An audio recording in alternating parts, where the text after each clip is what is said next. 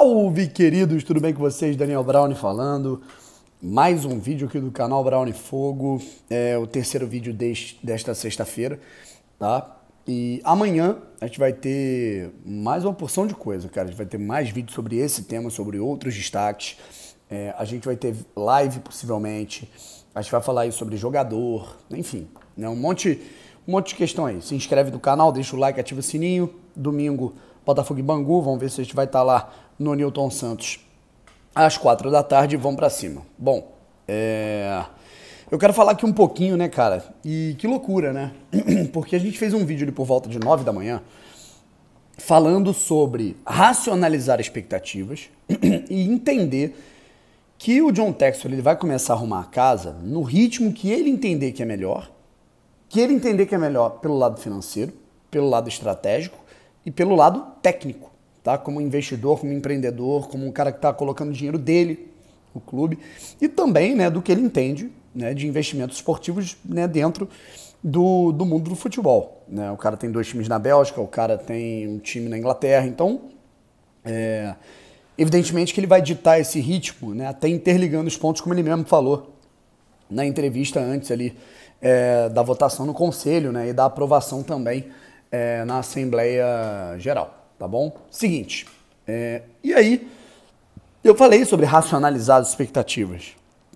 A galera até zoou, né, que eu meti uma thumb assim, né, mano? Pô, ficou estranhão, tá ligado? Mas a grande verdade é que é isso, né, cara? Se você tem na tua expectativa, na tua cabeça, que o Botafogo ele vai montar uma seleção mês que vem, é óbvio que você vai ficar frustrado. Mas se você tem na tua cabeça que, cara, a realidade nesse momento não tá legal, mas daqui dois meses vão vir alguns reforços pontuais, nada tão maravilhoso, mas vai vir alguma coisa pontual. E daqui seis, sete meses, aí sim o bagulho vai começar a ficar maneiro. É, eu acho que isso ameniza um pouco uma certa frustração se um jogador que a gente quer não vier, se o teto salarial não for aquele que é condizente com o que a, que a gente imagina para esse início, certo? Porque vai ser um ano de transição, um ano de turbulência. E quem diria, né? Nós tivemos horas depois do nosso vídeo, o John Texel basicamente falando tudo isso, né, cara?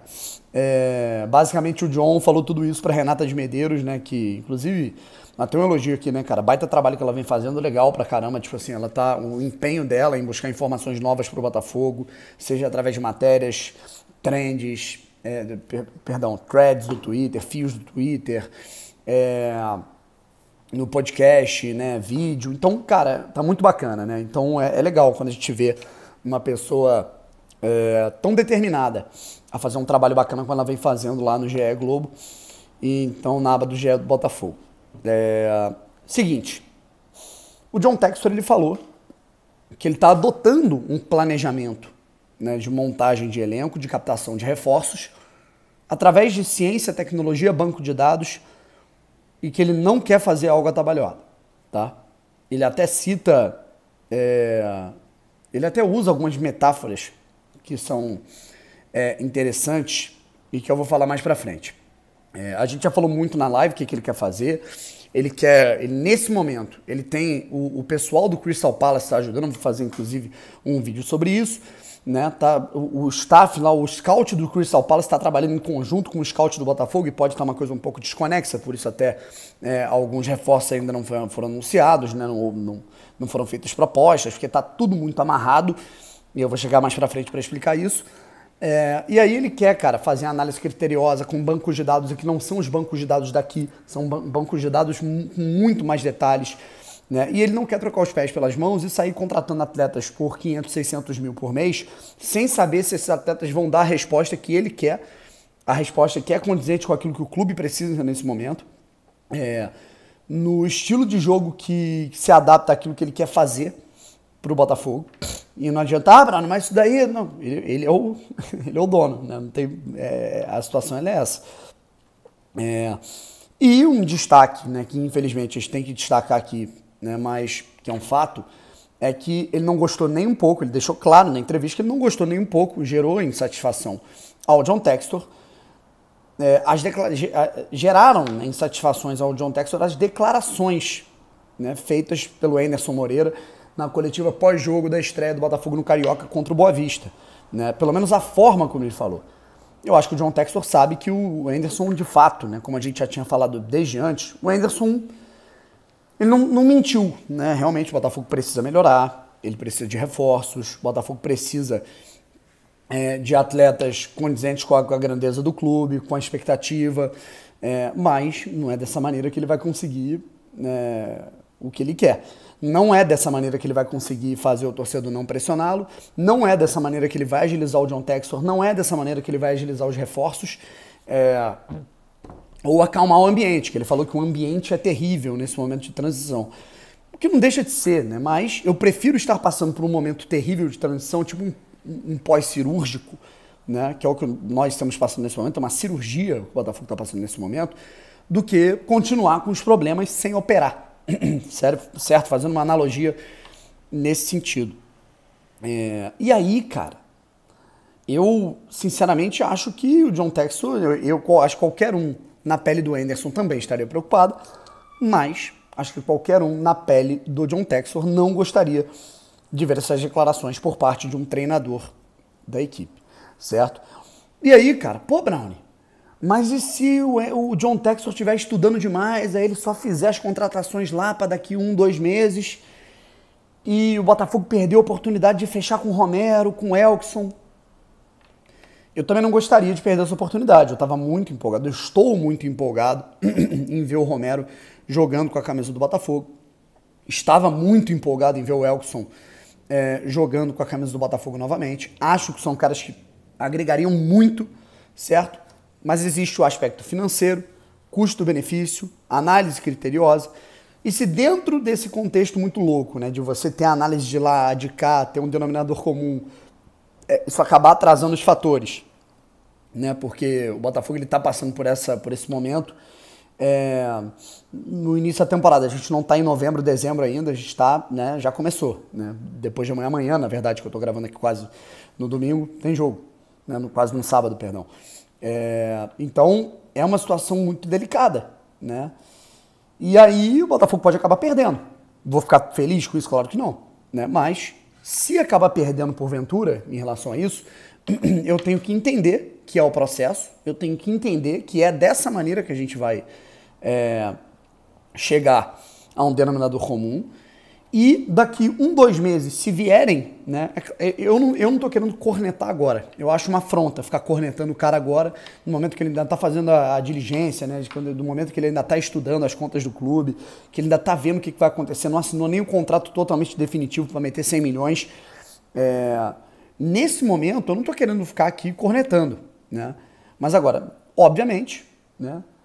Se daqui dois meses o Botafogo tiver perdido todas essas oportunidades de mercado, é, e não tiver trazido ninguém ainda, eu vou ser o primeiro a falar. Pô, peraí, gente, aí tá demorando, porque realmente nós temos Copa do Brasil, brasileiro, e isso pode atrapalhar os nossos planos no início do campeonato. E no início do campeonato, a gente sabe, o início do campeonato a gente sabe o quão importante é. Brasileiro e principalmente a terceira fase da Copa do Brasil. É muito importante, até por questões financeiras, o Botafogo avançar, pelo menos, para as oitavas. Porém, é, se a gente deixar de contratar esses atletas, estão sendo analisados agora, porque eles extrapolam no financeiro, acham que não é válido pagar 600 mil, 500 mil. Se forem chegar jogadores melhores que esses sondados, ou do mesmo nível, certo? Que coloca o Botafogo para fazer um campeonato digno, competitivo, eu não vou reclamar, certo? Claro que eu adoraria ver o Elkson, me amarro no Elkson, claro, eu acho que todos nós nos amarramos, até porque a gente lembra da maneira que ele jogou aqui no Botafogo, né? mas se for para ver alguém no mesmo nível melhor, né? É, eu não vou reclamar, certo? O que eu acho é que o John Textor, ele, o, o Anderson deu publicamente aqui, o John Textor devolveu publicamente de lá, tá? Então, se vocês não viram, né, cara, todas as aspas, todas as situações ali do, do Botafogo na entrevista, vejam na minha live, tá bom? Além do, do link que eu vou colocar aqui na descrição, vejam a minha live. Eu fiz uma live de uma hora, né, lendo toda a matéria, toda a reportagem, falando o que, que eu penso sobre isso. E eu mantenho tudo que eu falei no vídeo da manhã, tá? Racionalizar expectativas, irmão. Né? É entender, e aí eu finalizo com a metáfora dita ali pelo texto, porque realmente é uma coisa, é, é complicado, sabe? É complicado. Né? Porque é o seguinte, o Botafogo, ele está tentando se movimentar, mas ao mesmo tempo ele não pode se movimentar sem o aval do Textor, tá? Que também não pode se movimentar porque tá havendo todo um estudo, um viés técnico e financeiro para analisar o que, que vai ser feito nos próximos meses. Então tá tudo muito amarrado, certo? Eu comparo com uma viagem, vamos dizer que, pô, acabei de fazer uma cirurgia, né? Tô de muleta e daqui duas semanas eu tenho uma viagem de trabalho importante, né? Que era bom eu, eu, eu ir, né? E aí o pessoal fala, pô, Brown, tem que ir nessa viagem, cara, vai ser importante para você, não pode perder essa oportunidade, mas não tem como, né? Eu tô, eu tô num período ali pós-operatório, não, eu, eu tô sentindo o Botafogo dessa maneira. Pô, Elkson vai ser do caralho, Romildo, Romildo, porra, Romero vai ser muito maneiro, vai, né? Mas se houver, infelizmente, inviabilidade, né, pelo momento pelo qual o Botafogo está passando, né, a gente vai ter que respirar fundo, ficar puto. Como eu falei, eu falei isso lá atrás, tá? Primeiro dia, depois da aprovação da SAF, eu falei exatamente isso.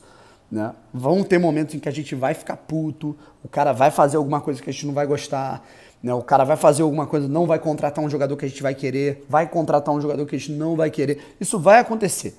Tá? E a gente vai ter que estar preparado para isso, né? porque nós, torcedores, somos amadores há 117 anos. Então, há um processo de amadurecimento do profissionalismo na nossa cabeça no dia a dia também. Certo? Isso daí é muito importante. É, da gente lembrar sempre que a gente fica, fica puto com alguma coisa, né? Eu vou ficar, vai ter momentos que eu vou ficar. Eu já tô vendo que eu vou ficar puto em relação a público, eu tô sentindo que o, que o preço do ingresso vai ficar muito caro em algum determinado momento, mas, gente, são os processos que a gente está tendo que passar nessa cirurgia, né? E é uma cirurgia que ela era inevitável, né? Nós estávamos num, num processo ali realmente, né, um estado de saúde crítico da, do, do, clube que tanto amamos, certo? E algumas dificuldades terão de ser enfrentadas por isso. E o John Textor, ele é o cirurgião. E ele prefere um trabalho a longo prazo, e é o que ele está falando. Nós não viemos aqui para o Botafogo para jogar dama. O que é jogar dama? Né? Dama é aquele jogo de tabuleiro completamente simples, meu irmão, que você vai lá e come todo mundo. Comeu aqui, foi aqui, matou aqui, tal. Um jogo que acaba em 20 minutos, certo? Ou seja, ele não está contratando, né? Um, ele não vai olhar para contratar quatro ou cinco jogadores só para ganhar o próximo jogo. Esse não é o planejamento, esse não é o intuito dele no Botafogo, certo? É, o intuito dele é contratar jogadores a longo prazo para jogar xadrez, que é um jogo mais sofiscado é um jogo que você tem que ter a cabeça pensante. É um jogo que tem, tem partidas né, dos, dos jogadores de xadrez de maior é, alto nível, né, partidas que duram 20 horas, né, 15 horas. É uma coisa muito louca. Né? E é isso que ele vai tentar fazer. Ele não está entrando para ganhar a Copa do Brasil esse ano ou o clube acaba. Ele está entrando para fazer do Botafogo uma potência nos próximos 5 a 7 anos. Certo? Então, a gente vai ter que passar por esse processo, rapaziada. E alguns pontos vão ser muito legais, outros vão dar aquela incomodada. Mas, vocês preferem o quê? Isso ou o antigo modelo? Deixa a pergunta no ar para vocês.